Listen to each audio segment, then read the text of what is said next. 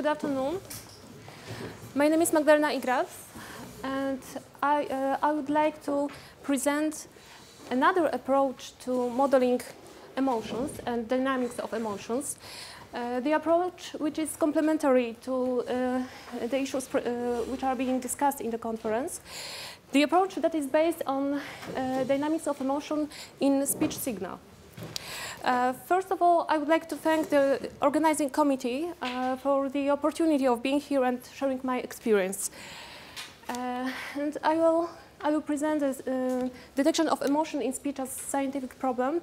Uh, I will present some uh, methods to do it, some results of my previous and current studies, and then I will analyze some case studies of dynamics of real-life arguments. Uh, I'm a second year PhD student at AGH University of Science and Technology in Krakow. Uh, and I'm working uh, in speech technology team.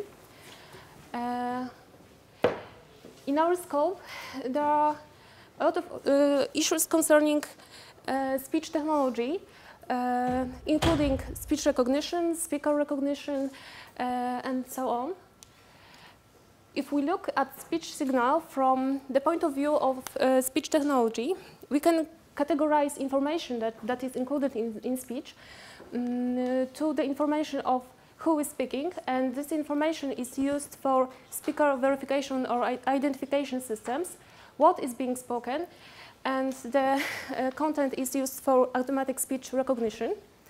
And the third one uh, which uh, is my main interest, is how we are speaking, uh, uh which includes emotional content of speech, uh, personal attitudes of the speaker, uh, his personality, or even pathologies in speech.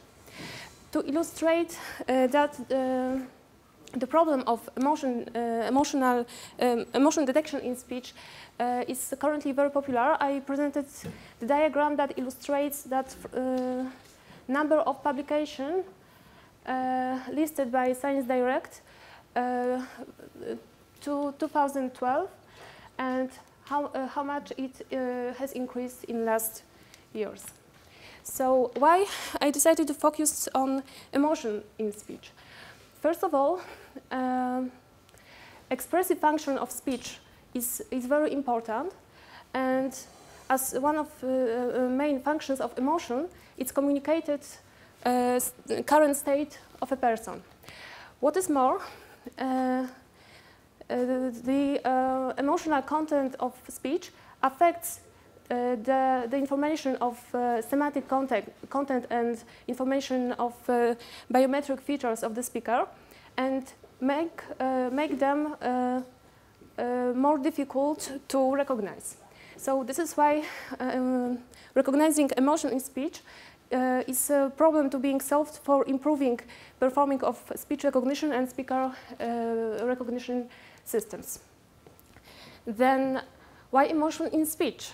Um, vocal expression of emotions is considered um, as being very uh, natural and very spontaneous and difficult to control.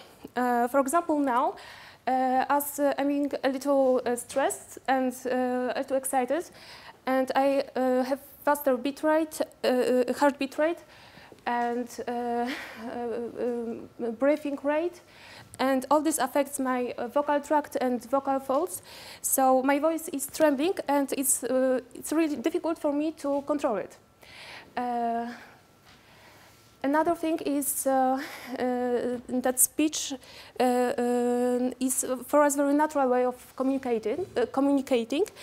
Um, and there are scientific theories that affect was transferred by voice even before any language system appeared in human history, mainly thanks to his alarming role. And all, uh, all the research on uh, emotion in speech is based on shared paradigm that if of, uh, each of basic emotional states uh, can be described with unique pattern or configuration of, uh, uh, of patterns um, of the acoustic parameters of speech. And these patterns are universal for basic emotions um, for any man in any culture. Methodology of uh, investigating emotional content in speech uh, consists of uh, several crucial steps. First one is collecting uh, proper emotional database, emotional speech databases, then lab labeling them with the name of proper emotion, and then um, using uh, mathematical tools to identify the acoustic features that are correlated with emotional content of speech signal. And all this leads to uh, constructing vocal profiles of uh, emotions, um, which are based for uh, automatic detection and recognizing of emotions. It might seem to be against intuition, but uh, collecting really good uh, emotional speech uh, databases is really difficult task. Uh, here, here we have the most popular methods.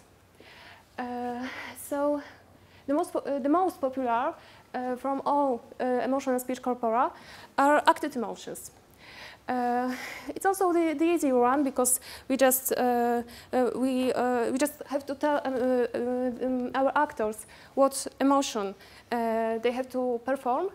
We can precisely plan the content of of the database and achieve very good quality. But still, they contain not natural but in some way artificial emotions. Mm, there are also some experiments of inducing emotions, but here we have some ethical uh, restrictions. Uh, and also there are uh, personal differences in reacting to uh, affective factors.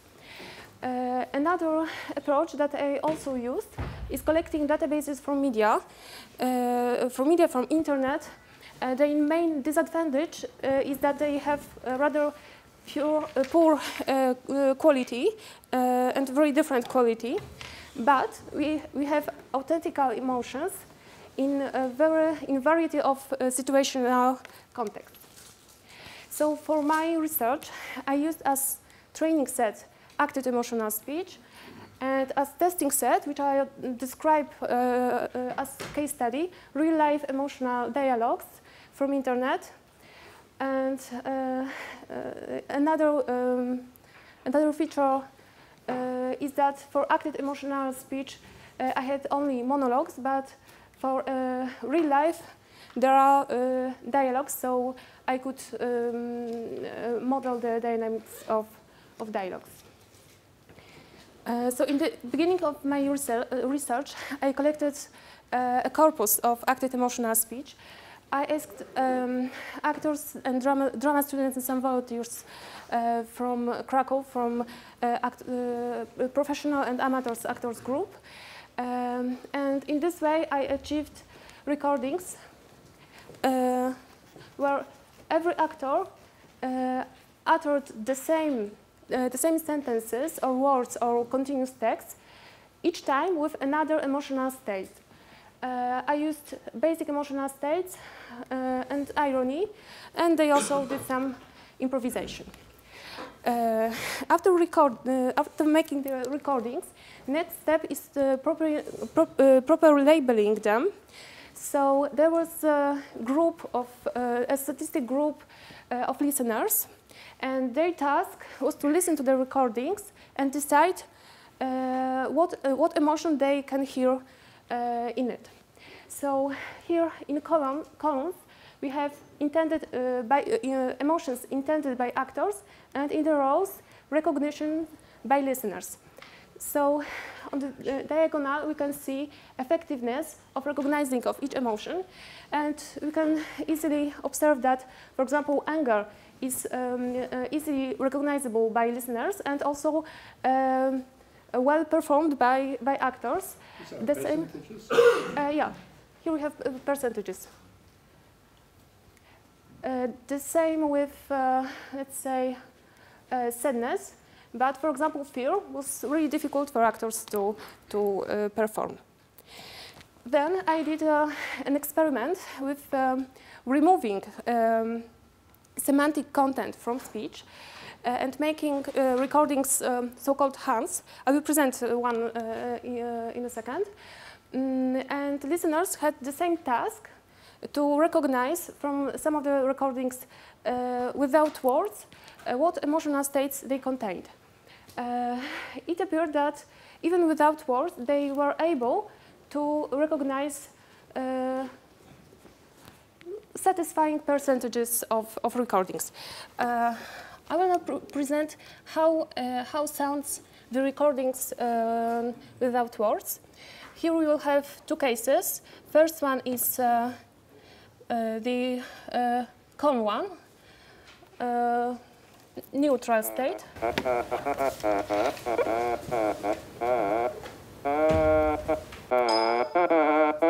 Okay, it's something like that. And here we have anger.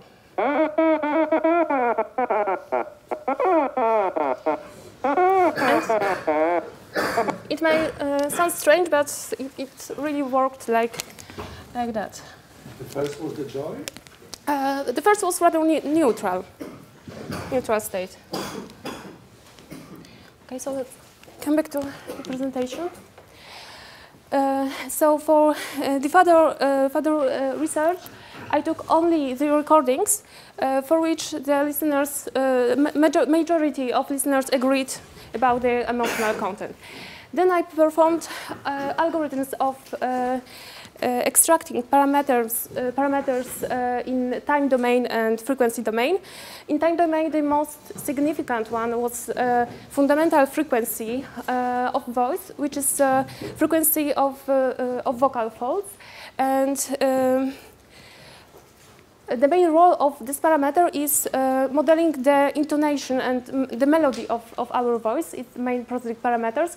Uh, and uh, it's mean value, minimum, maximum, standard deviation, and and so on. And the second significant, uh, most significant one is um, uh, local energy for, for the second of uh, utterance. So here we have some example results. Mm, we can see interpolation of contours of fundamental frequency, so the melody of speech, for, uh, of the same utterance, of the same content, uh, in several emotional states. And for example, for neutral state, uh, the signal is rather stable, the same for, for sadness, for both, uh, both uh, female and, and male uh, example speaker. For su surprise, we have characteristic um, increase in the end of, of recording. But for example, for joy or anger, uh, this, uh, the fundamental frequency is, is much higher and uh, its dyna dynamics is, is faster. Here's another example of intonation con contours of neutral states, sadness, and joy. Uh, as another experiment, I also checked uh, how does it look, look, like for, for irony, because in general we are able to detect if uh, someone is speaking with uh, irony or, or not.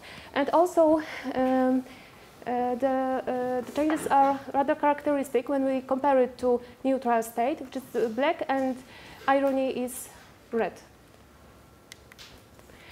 And this is example of, of clustering on the space of uh, two parameters. Here we have energy and here we have F0, which are normalized to the neutral, uh, neutral state as a reference. Here's the point as a reference. And all the values were scaled in reference to, to the neutral state. And uh, in this way, we achieved cluster characteristics for each emotional state. So as a result, we achieve uh, vocal uh, uh, vocal profiles of emotions described by characteristic changes of, uh, of some parameters in, in, time domain. Another approach is using transformation to the frequency domain and we uh, normally use uh, wavelet, uh, wavelet um, decomposition, mainly because it per performed well for uh, also for um, speech processing for speech recognition. Uh, so we used uh, as parameters, we used energy in each of frequency subbands that we obtained after um, after a discrete wavelet decomposition. Um, As an uh, improvement, uh, in our team we use MEL scale, which is uh, which more fits characteristic of speech signal and um, our perception of speech signal. So uh, we use uneven decomposition, uh, uneven, um, unequal wavelet decomposition, which is illustrated by this tree. And as a result, we obtain frequency subbands, which are according to the MEL scale.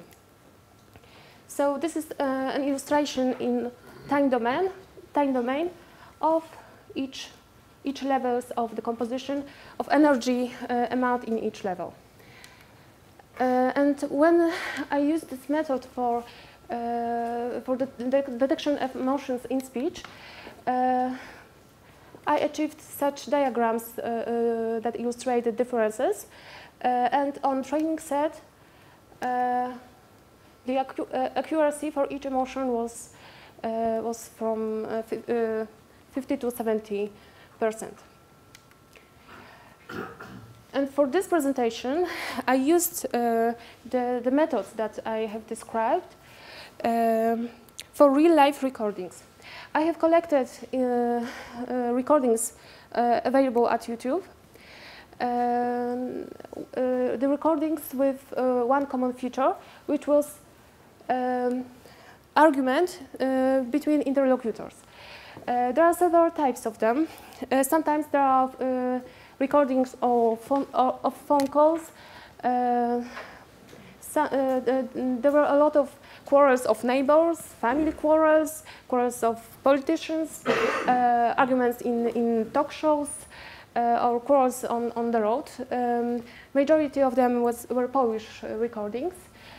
And uh, they vary in, in main parameters, which was formal or informal situation, uh, level of intimacy be, uh, between speakers um, or uh, they goal or, or motivation in arguing. So on the affective space, you will be in this, in this part.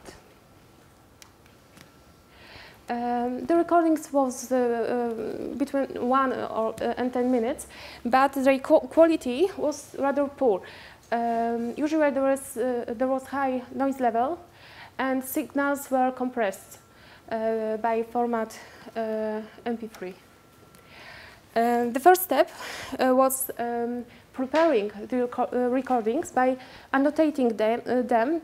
It's a really time-consuming task because uh, uh, I have to listen to all the, all the, recordings and divide it into areas uh, of when who is speaking when, and I use it. I use a software that that was implemented in our team. Uh, and as a result, I achieve MLF files which describe uh, the moment uh, of starting and ending each utterance of each speaker. And then I performed my algorithms. Um, so in the next few slides, I will describe uh, some case studies, uh, which um, uh, I hope best illustrate um, emotional dynamics of the dialogues. In the first case, we have um, uh, a client which is calling to call center uh, to the operator with complaint. Uh, and he uh, client becomes more and more angry while the operator becomes calm all the time. Uh, the recording was five minutes long. Uh, here we have percentage of talking time of each of them and it was rather balanced and there were uh, also 0.1% of, of talking time where both, both of them were speaking at the same time. So uh, uh, we have on average uh, 14 turns per minute. And in, in time domain, I have illustrated the changes uh, for each uh, uh, utterance, changes of fundament fundamental frequency of each speaker. With red, we have the client, which is complaining, and green shows uh, fundamental uh, changes of fundamental frequency of the operator. And we can see from this that uh, melody of voice, so uh, also his emotional state of the operator, was rather stable all the time. But the client was more and more uh, irritated, and his voice was uh, um, uh, has such has really high variety. Another parameter that illustrated well is standard devi uh, deviation of fundamental frequency, which is also uh, usually high for the client uh, and much lower for the operator. Um, on this diagram, you can see uh, uh, the, the, both parameters together, uh, F0 as mean and the uh, range uh, of uh, changes of F0. Uh, and we uh, also can easily observe that there are more and, and uh, um, bigger blocks for the client. Just the, the operator is also female? Or? in this case, they are all both male. They're both male? Okay, yeah. so another observation is that usually for men, fundamental frequency is, uh, is about uh, 100 to maximum uh, uh, 200 hertz. And here, this is much more, so he, his voice increased a lot. Okay, so another parameter are energy changes, and you can easily see that uh, for the client the energy was, was uh, much higher, and it was really low for the operator uh, who's not irritating anymore. And another paramet parameter is mean absolute slope uh, of F0, uh, F0 changes. Okay, I uh, propose also uh, another illustration of the dynamics. Here, here we have diagram when here we have fundamental frequency and here energy. And the lines uh, describe the changes uh, between each turn of each person. And uh, for the operator, it remains uh, calm, but for the client, uh, his voice was, uh, was uh, during all the conversation, has a really wide, wide range, and he, he was more and more angry. Another case study also comes from phone call but uh, uh, we have reverse role uh, because there is a call center seller that calls to potential client and try to sell, sell him something. here we have three minutes. operator uh, is talking more because he, he, uh, he has uh, high motivation. Uh, but the conversation is, is uh, cultural. The, there is no, um, uh, no time where they are speaking in the same time. and here we can see the, fundament, fundamental frequency, uh, which is similar for both, both of them. So from this, uh, this graph, we uh, couldn't conclude which of them was dominant in the conversation. The same, the same here. But when we illustrated with the graph on um, on affective uh, space when here we have F0 and here again energy, you can easily observe that uh, the, the client was much more, uh, uh his um, emotional state was, uh, was rising. Uh, another case study is from Quarrel of Neighbors. And here only one diagram, but with the um, black, black color, uh, I illustrated parts of time when they were all both speaking in the same time. The proportion is 52%. So only from this parameter, a system of automatic detection could, uh, could easily assume that uh, it, it, was required and uh, for half of the time they were speaking both in the same time. And the last uh, case was discussion of politicians. Here we have one male speaker and female speaker. Um, uh, a female speaker is, uh, is leading a session and male speaker is supposed just to answer the questions, but they are both speaking in the same time by 47% of our recording. Uh, you can see from it uh, from this, uh, only from from this diagram, but uh, this illustrates that both of them was uh, equally uh, irritated during the conversation. Okay, so um, to conclude, um, research on detection, uh, automatic detection of emotion uh, in voice has a lot of variables, what make it uh, really difficult. Uh, first of all, uh, each of us has individual way of expressing emotions and individual way and subjectivity of uh, recognizing emotion in, in other people's voice. Um, and emotions are multimodal in, in their, their nature. so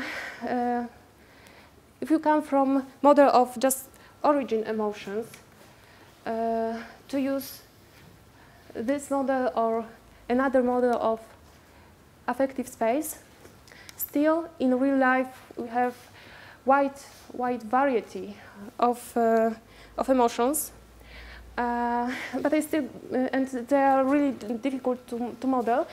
Um, but I still believe that more or less sophisticated methods for analysis will, will lead us to better understanding of emotions. Um, so better understanding of ourselves and our re reactions, uh, as well as better understanding of each other. so to summarize, uh, by measuring vocal cues in emotional speech, we can monitor the dynamics of, of dialogues. And fortunately, majority of the methods were noise resistant. Uh, and in future, fusion of methods ba based on both uh, linguistic and vocal cues uh, will, uh, will certainly improve the recognition level. And this research can be applied um, for improving speech recognition uh, or speaker recognition systems. can help in um, better speech synthesis methods or modeling dialogues with, in human computer interfaces. So in further works, I plan to to mix both methods of uh, recognizing emotion from voice and from semantic context, uh, content uh, of speech. Um, so thank you very much for your attention. If you have any suggestion uh, uh, now or in the future, here's my email address. Thank you very much.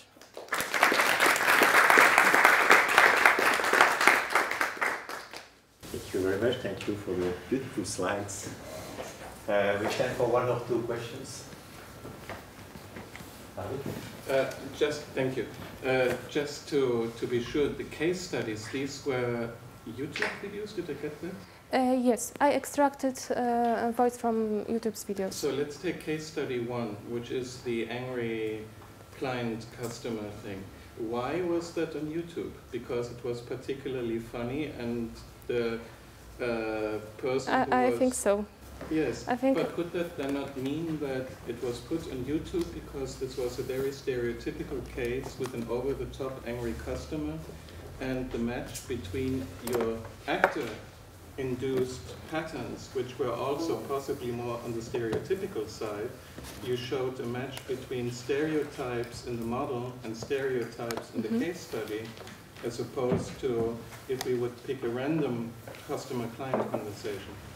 Yes, I, uh, in future, uh, I hope that if uh, the algorithms that I described will be improved, we will um, have system that is trained on both natural and, and artificial emotions and is able to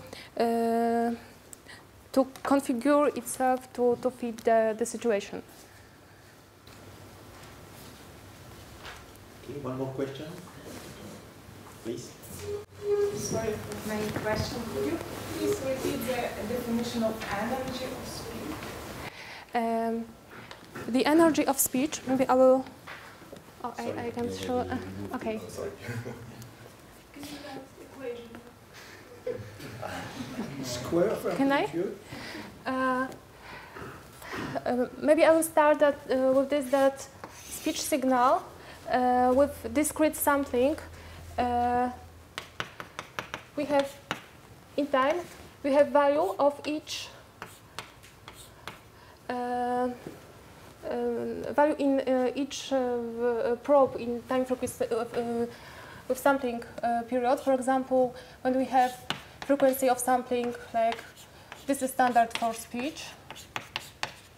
Okay, and for counting energy, uh, I take the values of the samples uh, depending on what frame of time I, I uh, uh, will use. For example, I, I can count uh, energy in time of, let's say, uh, 10 milliseconds. So it's square, square root of uh, sum of the amount of the uh, of each probe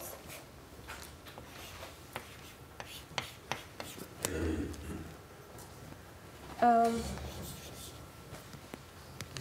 like this. Okay? So um, in practice, it illustrates, for example, the accent. If, uh, if you say something uh, normally or with bigger accent, okay, so we will have uh, much, much more amount of energy for each uh, period. Okay. Thank you very much. Thank you very much.